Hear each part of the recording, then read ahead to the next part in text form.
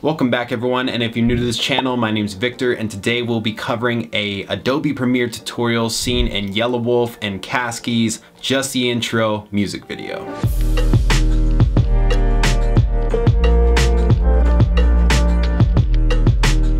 Going to be covering a transition that is seen in there that is super subtle. So subtle that I've seen the music video a bunch of times and I almost missed it. The camera is filming Yelawolf and then it starts to whip this way and they transition it into the 360 camera that's filming Caskey and with a 360 camera you can have it rotate any which way you want.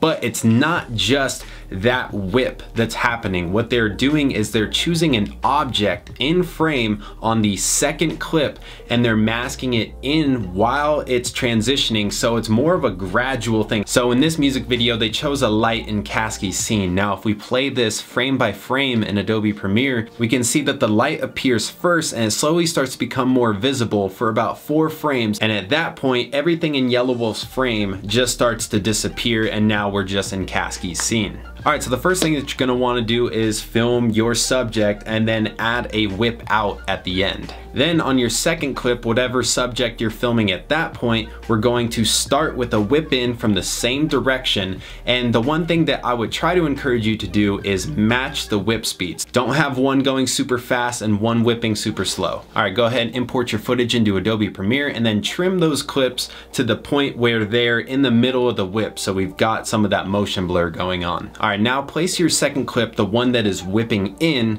under your first clip. This transition lasts eight frames, so just go from eight frames from the end of your first clip and have it start there. Now on that top clip with only eight frames being left, go ahead and hide it, but make sure it's selected because we want to be masking an object from that second clip, but on that first clip. So in my clip specifically, we'll be masking that window lighting transitioning in. So move forward just one frame and then draw that mask around your object and then turn on your mask path keyframes. Now quick tip, if you haven't masked before in Adobe Premiere and you want to be able to curve the lines of the mask like I am, you just click and hold and then drag and that will create those little handles that you can then adjust if you would like. Now don't just choose any random object, choose something that's on the side of the frame that will then transition in. Now move forward four frames and then adjust the mask as needed needed for how big that object now is in frame. You wanna make sure that that object's staying perfectly inside the mask. Now I start scrubbing back to the beginning of that mask and making any adjustments as needed in case the keyframes don't perfectly blend as they move. Now make that clip visible and then don't forget to bump up your mask feathers so that the mask edges have a nice blend to it. Now return to that first mask path keyframe and then back up one frame. You should be at the beginning of that transition. Now we just want to take that mask and move it out of sight off frame. All right, now click on that bottom clip and make sure that you're at the beginning of that transition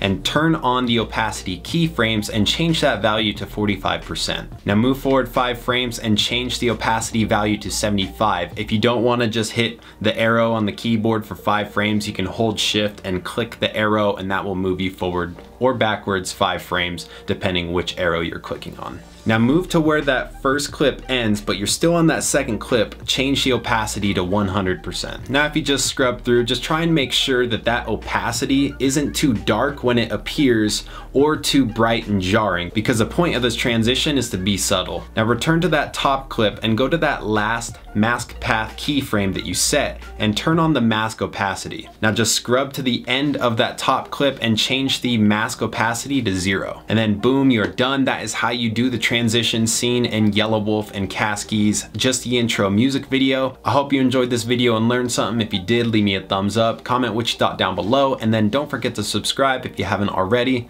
I'll see you in the next one.